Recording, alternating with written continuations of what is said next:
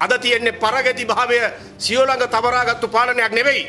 ස්වදේශිකත්වය මේ තමන්ගේ ප්‍රධාන ශක්තිය බවට පත් කරගත්තු පාලනයක්. ගෝටාබේ රාජපක්ෂ ජනාධිපත්තුමන්ට කොඳ පන තිබ්බා. මගේ රටේ ස්වෛරී භාවය මගේ රටේ ස්වාධිපත්‍යය ජාත්‍යන්තර සම්බද්ධතා වෙනුවෙන් පාවල දෙන්න මම කටයුතු කරන්නේ නෑ කියලා කියන්න. එහෙම කියන්න කොන්ද පන තිබ්බා. ඒ විතරක් නෙවෙයි. එතුමා රුවන්වැලිස් මහසෑය රජුන් ගාව ප්‍රධාන දිවුරුම් දීලා පළවෙනි කතාව කරද්දිත් ඒ ගුණය පෙන්නුවා. නිදහස් දිනේදීත් බොහොම පැහැදිලිව කිව්වා මගේ ආරක්ෂක හමුදාවන්ට බලපෑම් කරන්න එනවා නම් ඕනම ජාත්‍යන්තර සංවිධානයකින් ඉවත් වෙන්න අපි අපි සූදානම් කියලා කිව්වා. ඒ නිසා ජාත්‍යන්තර බලවතුන් හමුවේ දන ගහන කලින් තිබිච්ච විදිය රූකඩ පාලනයක් නෙවෙයි අද හැදිලා තියෙන්නේ. එදා රූකඩ පාලනයේ දීද්දී කොම්පියෝල හරි ජෝන් කෙරීල හරි සමන්තාප වෙල්ල හරි එන්න එනකොට කලබල නොවිච්ච 103 මයික් පිම්පියෝ ටික දැන් රූකඩ නොවන පාලනයක්.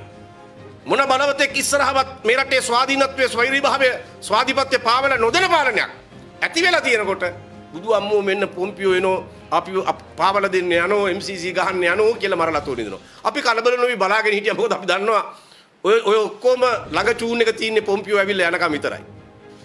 අඩු ගානේ ඇමරිකානු රාජ්‍ය ලේකම් ඉන්දියාවට ඉන්දියානු බලධාරීන්ට යම්කිසි ගිවිසුම් අත්සන් කිරීමට කරන ලද බලපෑම වත් මේ ශ්‍රී ලංකා වේදී ඔවුන් ඒක එහෙම බලපෑමක්වත් කරන්න ඉදිරිපත් වෙලා නැහැ.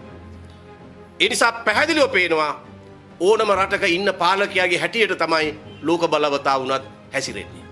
පාලකයා නිවටෙක් නම් අර එළුවා රවුල පානකොට ඒ බබර් වැඩේ කරන්න යන විදිහේ නිවටෙක් නම් ආන්න එතකොට තමයි ඕන බලවතෙක් තමන්ගේ අභිමතාර්ථ ඉටු කර ගැනීම සඳහා ඍජු බලපෑම් සහගත භූමිකාවන් වලට අවතීර්ණ වෙන්නේ.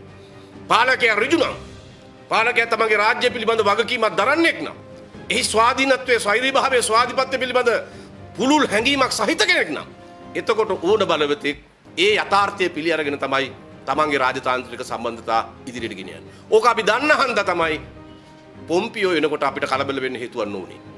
හැබැයි පෞගිය ආණ්ඩුව කාලේ පොම්පියෝ ආවනම් කලබල විය යුතුයි. මොකද හේතුව MCC ගිවිසුමත් හොර රහසේ මූලික ගිවිසුම අත්සන් කරගත්තු ආණ්ඩුවක් ඒ තිබ්බේ. සෝෆා එක්සා ගිවිසුම් අත්සන් කරන්න පියවර ගත්තු ආණ්ඩුවක් ඒ තිබ්බේ. එහෙම ආණ්ඩුවක් තියෙනකොට පොම්පියෝ වෙනවනම් මුළු රටම කලබල විය යුතුයි. හැබැයි පොම්පියෝ නෙවෙයි වෙන කාගේවත් පදයට නටන්නේ නැති ගෝඨාභය රාජපක්ෂ මහින්ද රාජපක්ෂ පාලනයක් තියෙද්දී කවුරු ආවත් අපිට ඒ ගැන කලබල වෙන්න දෙයක් නැහැ. මොකද ඊට කලින් දවසේ අමාත්‍ය මණ්ඩලය තුලදී මේ ගැන පුළුල් සාකච්ඡාවක් ඇති වුණා. ජනාධිපතිතුමන් එතනදිත් පැහැදිලිව කිව්වා කිසිසේත්ම අපි MCC ගිවිසුම සංකිරීමක් ගැන මෙතෙන්දි කොහෙත්ම සාකච්ඡා වෙන්නේ නැහැ කරෙන්නෙත් නැහැ කියලා. අපි තා පැහැදිලිව කියනවා MCC ගිවිසුමක් අපේ ආණ්ඩුවෙන් අත්සන් කෙරෙන්නෙත් නැහැ. අත්සන් කෙරෙන ආණ්ඩුවක අපි ඉන්නෙත් නැහැ. අත්සන් කෙරෙන්නේ නැහැ කියන එක අපි තාම ස්ථිරව කියනවා ඒක ගෝඨාභය රාජපක්ෂ ජනාධිපතිතුමන්ගේ ඍජු ස්ථාවරයක් අපේ ආණ්ඩුවේ ඍජු ස්ථාවරයක්.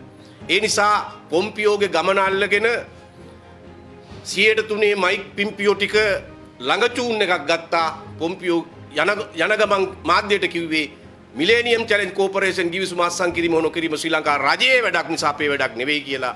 එතනින් පස්සේ ළඟ චූන් රතුක දේශපාලන වශයෙන් නන්නත්තර වෙලා තියෙනවා. දැන් ඒගොල්ලෝ හැංගෙන්න ගුහාවල් හොයන බව තමයි අපිට පේන තියෙන්නේ. Breaking.lk